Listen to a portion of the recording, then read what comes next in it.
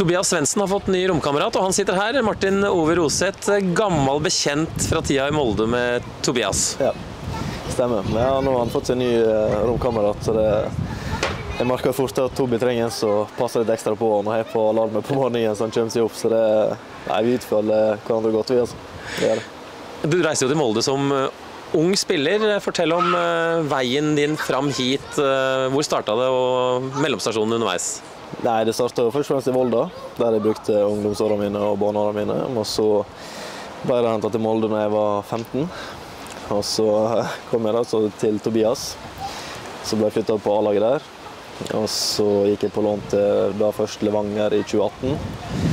Så gikk jeg på et nytt lån i 2019 til eh, Sogndal. Før jeg signerte permanent på Sogndal i 2020. Og så ble det et Lillestrøm til slutt. Jeg vet det var flere klubber som ønska deg før du bestemte deg for Lillestrøm. Eh, Hvor mange alternativer hadde du egentlig? Nei, hvor mange alternativ sånn egentlig, det vet jeg ikke. Og det er jeg ikke så opptatt av heller, egentlig. For det, det var noen som var attraktive for min del, og når Lillestrøm kom på banen, så var det egentlig en no-brainer for min del. For jeg har jo fulgt med Lillestrøm lenge. Jeg synes det er en stor klubb, det er en spennende klubb. og det var absolutt noe jeg ville, ville være en del av. Så når eh, Simon og Geir tok en prat med meg og inviterte meg til Lillestrøm, så fikk jeg et godt inntrykk. og da, da var det fort gjort. å være ned dagen etterpå igjen nesten og signere kontrakten. Ja, hvordan har erfaringene vært eh, så langt, da? Jo, altså det har vært et steg opp. Jeg merker at ting går fortere. Du må være mer sharp, ellers så blir du spist opp på trening. Så det, det er det steget her jeg trenger. Og hittil så har det vært mye læring, det har vært mye nytt. Men eh, ja, jeg syns det har vært kjekt, og jeg gleder meg til å bygge videre på det. Eh, venstre sidestopper er jo den posisjonen du vel har blinka deg ut. Hvordan ser du på konkurransesituasjonen i laget? Det er mange midtstoppere. Vi har fått god konkurranse i store deler av, av troppen nå, egentlig. Hvordan ser du på, på akkurat den biten der?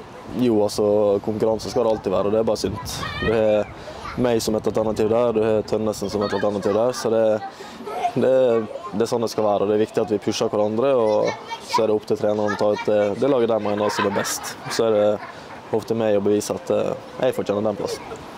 Du har hatt god erfaring med å hente spillere fra Sogndal de siste åra, Lillestrøm, da, med både Igo Ogbu og, og Akor Adams. Prata du noe med dem også før du tok beslutninga di? Ja, jeg snakka litt med Akor, og så møtte jeg han da jeg var og besøkte klubben første gangen. Så det, eh, alle jeg prater med som har vært i Lillestrøm, de er bare gode ting å si om Lillestrøm. Og eh, garderobekulturen er jo for min del helt unik, syns jeg, her. For det, det er bare en kompisgjeng, og det, du blir tatt godt vare på. og Det var noe som var viktig for meg. Da. Så jeg hørte jo med Tobias også hvordan han, han hadde hatt det her. Han sa det var tipp topp. Så det, det var et lett valg for min del. Det, det. Det er ganske mange som skryter av garderobekulturen her. Eh, Det er vel ikke bare noe å si for, for å være høflig når det blir gjentatt så mange ganger av så mange. Det du merker at det er noe spesielt? Ja, merker det. At eh, det er en gjeng som bryr seg om hverandre. og som, Hvis du har det litt tøft, så er det, er det mange du kan gå og snakke med. og det for min del så er det noe jeg syns er viktig, og jeg, jeg ser stor pris på det. i hvert fall. Jeg føler at det, det hjelper å bygge lag, og det tror jeg man kan ta mye poeng på.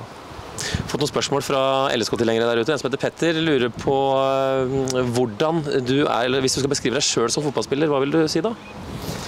Nei, jeg vil si at jeg er en spillende midtstopper med en god venstrefot. Som eh, er flink til å lese spillet, og ja, er OK, OK rask i tillegg. Så det, det vil jeg oppsummere meg kjapt og gale med. Er du ikke egentlig ganske veld, eller veldig rask?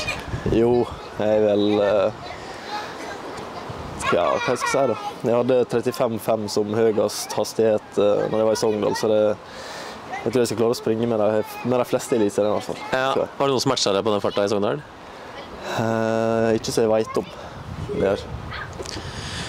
Så er det en som heter Terje, som eh, at, eller påpeker at du har hatt noen skader tidligere. Hvor mye har det plaga deg tidligere i karrieren? Jo, det er jo plaga meg en del. Jeg har vært uheldig med litt forskjellig, egentlig. Jeg har hatt eh, to operasjoner i kneet i ung alder, og så har jeg hatt et par strekker nå i senere tid. Så det, det er klart at det påvirker en som spiller, og det, det er tøft å få de slagene i trynet. Men eh, samtidig som du får dem, så lærer du mye. og Jobben min har hele tida vært å tenke at jeg skal tilbake og jeg skal bli enda bedre, og det er det som var det fokuset også. Så det, det er det viktige, og så må du bare ta med deg erfaringer som, som du får av de tilbakeslagene. Du har jo vært i Molde da, og på en måte kjent på toppnivå i, i Norge før. Eh, Hvis du skal se på den stallen du er en del av nå kontra det du har vært en del av også bl.a. tidligere i Molde. Hvordan vil du Er det noen forskjeller? Altså, det blir litt vanskelig å si for min del. for det, når jeg kommer på Molde, så var jeg en junior, og her er jeg en seniorspiller. så det Altså, Du har jo kvaliteten i Molde, men jeg syns det, det, er veldig bra kvalitet her. og Det, det kom til betraktelig fra vi begynte i preseason med tanke på pasningsøvelser, relasjoner og den biten der. Så det, jeg syns det begynner å se veldig bra ut, og så er det bare å bruke tida framover til å bli enda bedre. For det, det kommer en cupkamp nå snart som vi absolutt har lyst til å vinne, og jeg spesielt når jeg skal opp igjen til Fosshaugane der. Så det, det er bare å bygge videre, og så jeg tror på at det blir bra der. Ja, hvordan blir det? Det er bare en drøy uke unna alvoret begynner da, med cupkamp borte mot Sogndal. Du kjenner Sogndal bedre enn de fleste. Hva, hva er det som venter oss der oppe? Nei, altså det er alltid tøft å komme til Fosshaugane. Det, det er ei lita bygd med, med, stort engasjement i fotballen. og ja, det blir, det blir, kjekt for min del å komme tilbake, men det blir også en veldig tøff kamp. for det, Sogndal er Sogndal, og du vet at der er det trøkk og det er dueller. og det, det smeller litt ekstra der. Det er det. Hvis vi vinner der, så er det jo bare et par hindre til før en eventuell cupfinale. Det er, vel litt ålreit inngang på serien, eller sesongen vi får nå, egentlig, med noen kamper som betyr mye, mm. også før seriealvoret begynner. Ja, absolutt. Det, det å få en cupkamp så i hermetegn tidlig, det er veldig fint. Og så håper jeg at vi vinner den, og så ja, bygge videre. Og det å, at det ligger en cupfinale i horisonten, det er jo absolutt en, en god motivasjon. Så det, det blir spennende. Absolutt.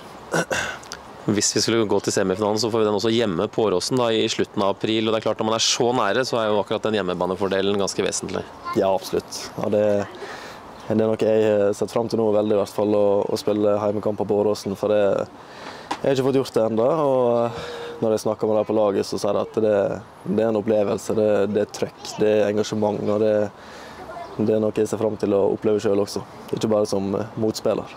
Det er jo de som mener at den eh, stemninga som var på Lillestrøm-Vålerenga i fjor, er eh, det beste man har opplevd eh, på en norsk eliteseriebane. Jeg vet ikke om du fikk med deg kampen på, på TV, kanskje? Jo, jo, jeg så kampen, så det, du merker at det er noe ekstra spesielt. Og, eh, I Sogndal for min del så var ikke vi vekkskjemte med fulle tribuner og den biten der, men eh, jeg har sett at det er et stort engasjement rundt Lillestrøm og rundt kampene der. så det det er noe for min del også som, som er litt ekstra, ekstra, gøy å spille fotball. For det, det sier seg selv at når det er publikum på tribunen, så, så blir det ekstra gøy.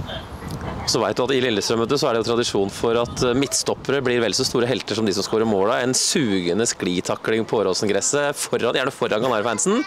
Det er lite som settes mer pris på enn akkurat det. Nei, men det er noe, som midtstopper også, så er det ekstra godt å sette inn den taklingen. Og da, da gjør det jubelbrusen på tribunen i tillegg, så selvfølgelig så er det en god følelse. Veldig hyggelig å ha fått en prat med deg her nå. Velkommen igjen til Lillestrøm. Vi gleder oss til fortsettelsen, og det regner jeg med at du gjør òg. Veldig. Tusen takk.